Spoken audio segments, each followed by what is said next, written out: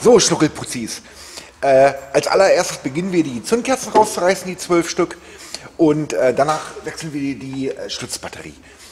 Ähm, wir fangen mit der, mit der schönsten Sache an, die der 211 hat. Äh, nicht nur der 211, der, der, der, der 210er und der 124 hat das auch schön. Und zwar können wir die Motorhaube natürlich weiter aufstellen, dass wir gescheit arbeiten können.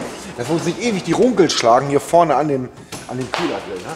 Obwohl, Dome, dem passiert das auch so immer. Ne? Dem passiert das, wenn so hochgeklappt ist. Ne? Da haust du immer einen Schädel ein. Ne? So. Zack, zack. Ganz hoch die ganze Geschichte. Luftfilterkasten runter.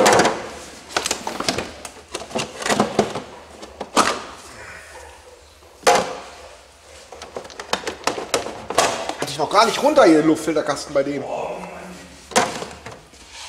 Was machst du denn?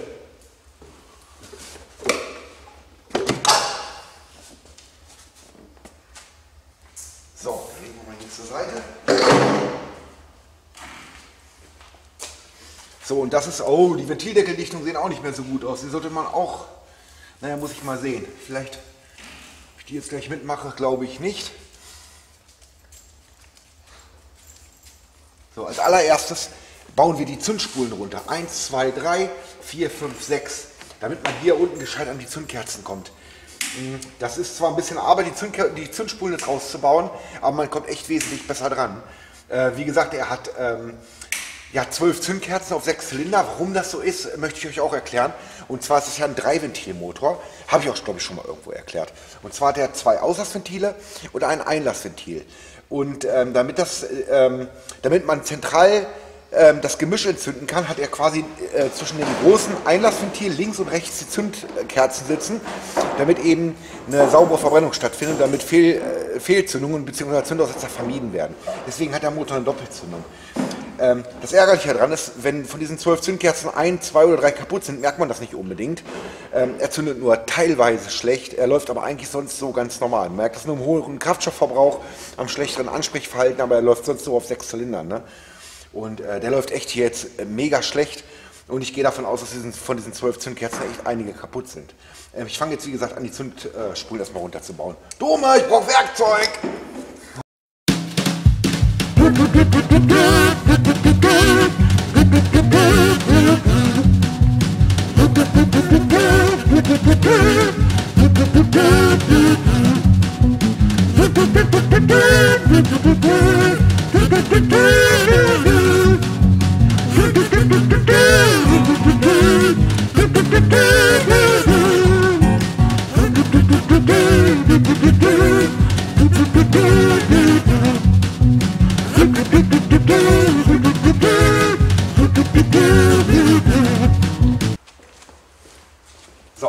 So, Zündspulen sind alle los, alle sechs.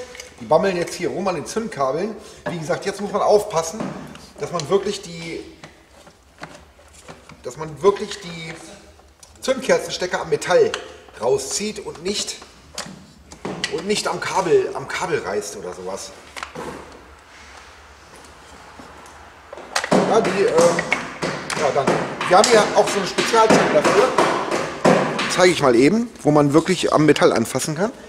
Ähm, aber man muss mal gucken, womit man am besten immer klarkommt.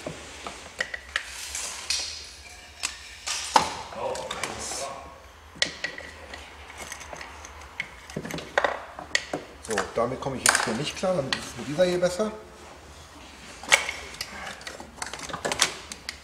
So, das ist nämlich ein Hauptproblem, dass wenn man nämlich anfängt, hier an den, an den Kabeln zu ziehen oder sowas, dass man dann hier wahrscheinlich schon eine Brücke reinbaut und dann gibt es hier einmal unten als Zündkerze einen Funken, schwachen und hier oben einen oder hat man nämlich schon Zündaussetzer. Ne? Also das ist wirklich ein bisschen, da muss man wirklich ein bisschen aufpassen, das macht man wirklich hier oben schön mit so einer, wie mit dieser Spezialzange, greift und schön rauszieht. Die sind auch ziemlich fest drauf, weil die Fahrzeuge eben halt, weil die Zündkerzen eben halt so lange da drin sind. Ne? So, Zündspule 1, die kann man ruhig vertauschen. Die kann man ruhig vertauschen, das ist kein Problem.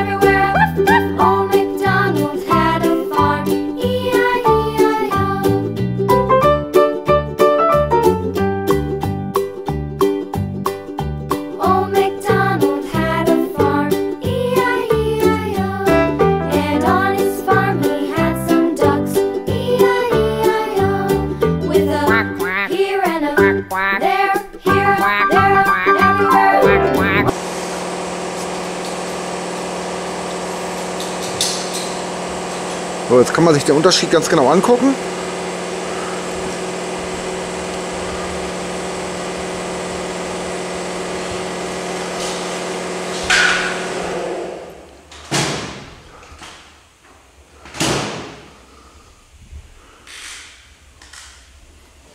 Das ist schon ein bisschen Unterschied, ne? Jetzt machen wir sie neu rein.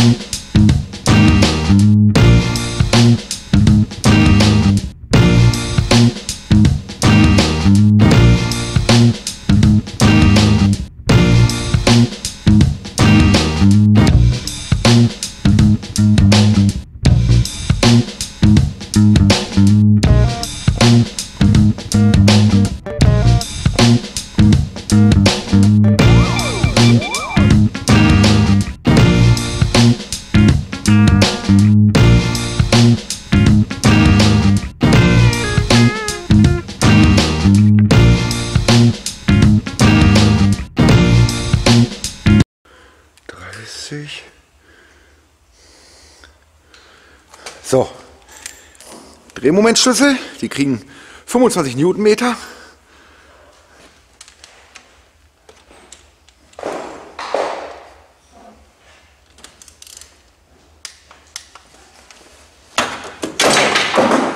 Toll.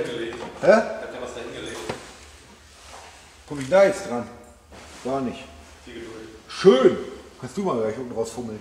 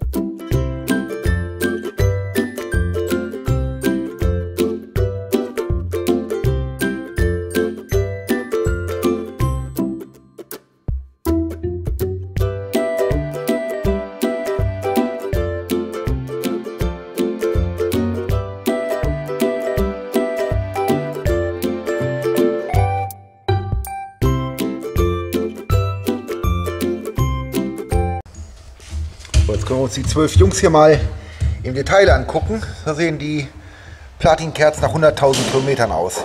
Also man sieht nicht viel, auch obwohl bei diesen hier sieht man schon ziemlich, dass sie relativ abgebrannt sind. Also die mussten raus. Vor allen Dingen sind es auch Bero-Kerzen. Also da halte ich jetzt nicht persönlich nicht so viel von.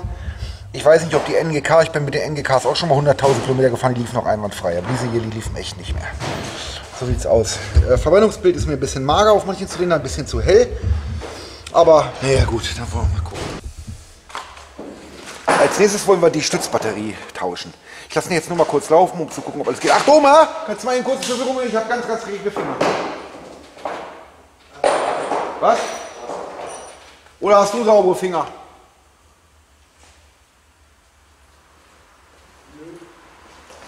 Lass ihn mal laufen, gucken, ob alle sechs da sind. Was raus? Ja, alles raus. Wir starten.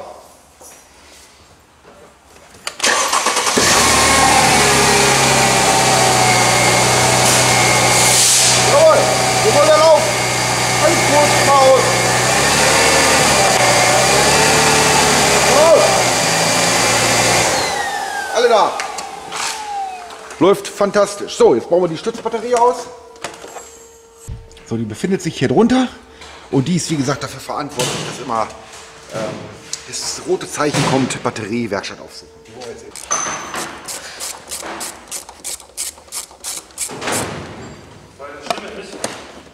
er Denn was? wenn er am Draht ist, ist die Zündung noch leer. Hast du die Zündung ganz aus? Hä? Ja.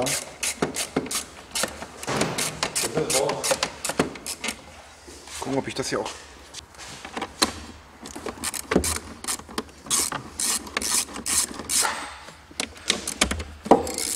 Jo.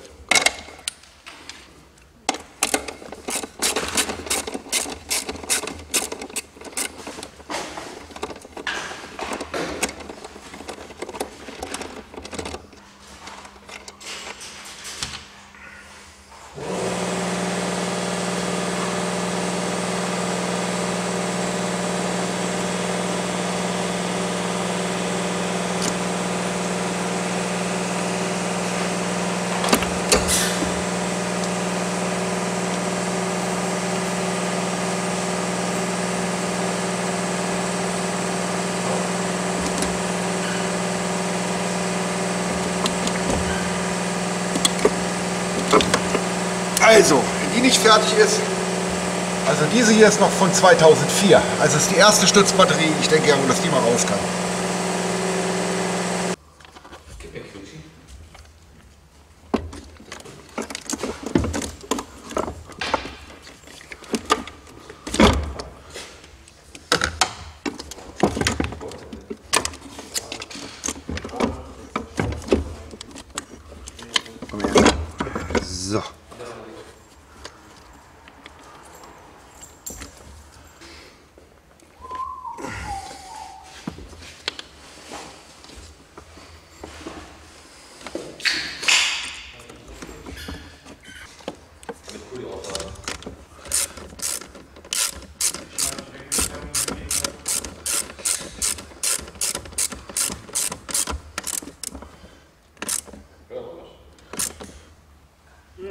So.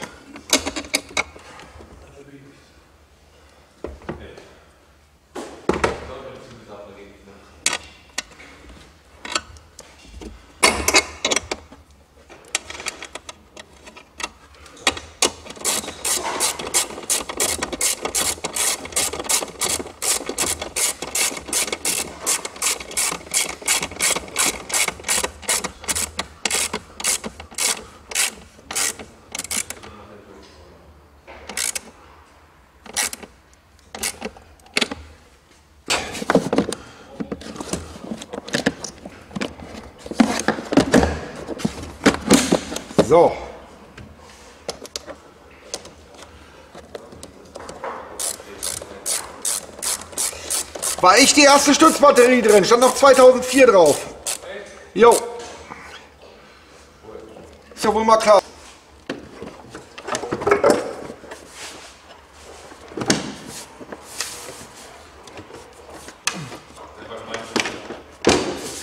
Nee, nee, der ist Steckkraft. 230, glaube ich.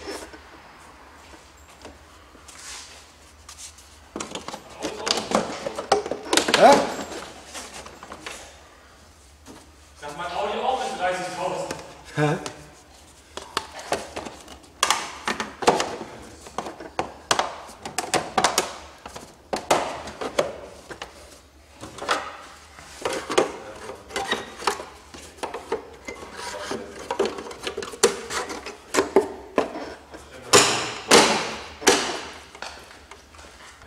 So, alles fertig. Die Stützbatterie ist getauscht. Die 12 Zündkerzen sind neu. Ich möchte noch ein bisschen was dazu sagen. Also der Anzugsdrehmoment der Zündkerzen sind 25 Newtonmeter. Ich sage aber auch, ich wusste es auch nicht. Dome hat es mir ja gesagt. Der hat es noch im Kopf, weil wir die ja nun öfter tauschen. Und wir, viele kommen mit M112, M113 Motoren, die wir auf Gas umrüsten. Die, die Kunden dann wollen, dass wir die Zündkerzen tauschen. Hätte ich das nicht sagen dürfen? Ja, okay. Weil ihr macht das ja nicht so ganz wirklich gerne. Ja, genau, ja, stimmt. Hast du schon ein paar Mal gemacht, ne?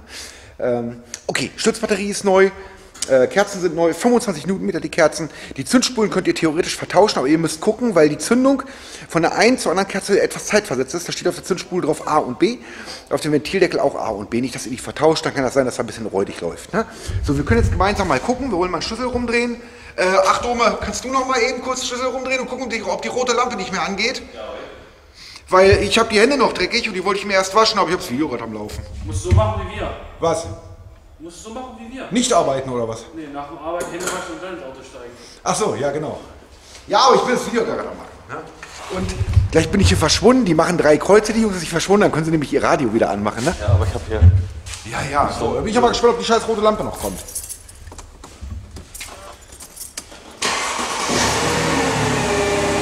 Nö, sieht gut aus. Oh, wir nehmen mal eben. Oh doch, immer noch. Warum? Ja, müssen wir ein bisschen warten. Vielleicht ist die neue Batterie auch noch gar nicht voll. Da müssen wir mal ein bisschen warten. Warnstadtbatterie. Ja, die, die war nur trocken vorgeladen, die haben wir nur mit Säure befüllt, ne? Und müssen wir jetzt mal, müssen wir mal ein bisschen warten, die lädt sich ja auf. Nur die andere von 2004 war ja ganz tot, ne? Wenn die irgendwie nicht richtig vorgeladen wurde oder sowas, und die nur 8 Volt hat, dann kommt der Fehler natürlich wieder, ne? Wollen wir mal sehen, wir haben auf jeden Fall unser Bestes getan.